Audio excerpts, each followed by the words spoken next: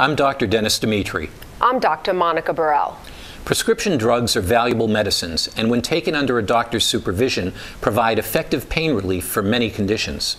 But the abuse of these powerful drugs has become a serious public health problem in Massachusetts and across the country, resulting in the needless deaths of thousands of people. If you are prescribed opioids or pain medication, talk with your doctor about the risks and benefits of the medicines and explore different ways to treat your pain. The safe use of prescription drugs comes when physicians and patients work together to promote healing and good health. Medicines cure, heal, and relieve pain. Use them carefully, store them securely, and dispose of them properly when no longer needed.